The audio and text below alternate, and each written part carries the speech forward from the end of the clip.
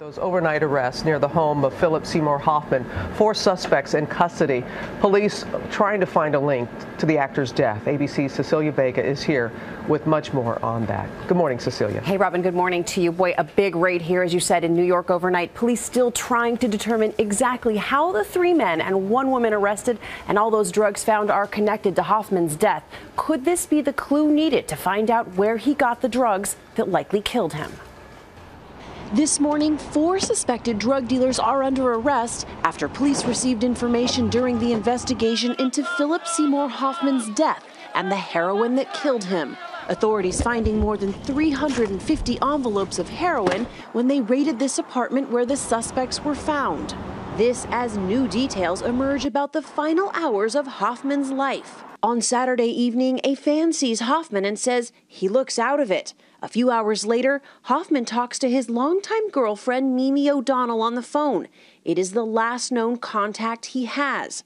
About the same time, a witness sees Hoffman withdraw $1,200 in cash in six transactions from an ATM over the span of an hour. That money never found in Hoffman's apartment. The next morning, Hoffman is found dead in his bathroom, a needle in his arm, roughly 70 bags of heroin nearby.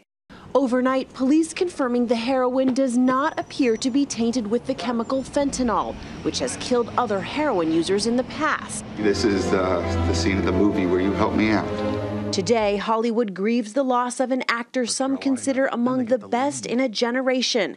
George Clooney telling Lara Spencer, He was a friend, so it's a it was a surprise. It's unbelievable. Now, those close to Hoffman making plans for his funeral. O'Donnell seen here at a New York funeral home Tuesday. The minute the gun goes off, it'll be a bloodbath.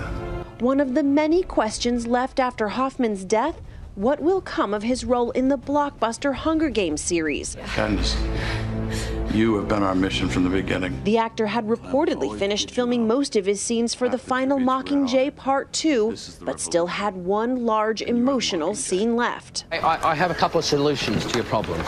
It's a hurdle Hollywood has had to overcome before, following the sudden deaths of stars like Heath Ledger and Paul Walker. Some Hollywood insiders reportedly predicting insurance companies might require actors to record various facial expressions in advance, just in case something tragic happens during production.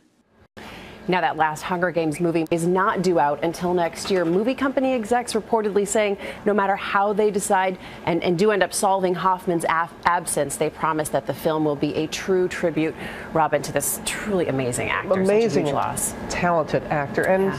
Cecilia couldn't help but last night watching you on World News and how you shared a personal story about how this affects you and your family. Yeah, you know, um, and what I've learned after sharing this that my father was a heroin addict, my father Raul, who who died because of his addiction, um, and we all miss him very much. And and, and the, the response that has come out overnight has been absolutely overwhelming. And what I learned, my takeaway in all this, so many families out there just like mine struggling and dealing with addiction, and it's something you learn to live with. And you know what?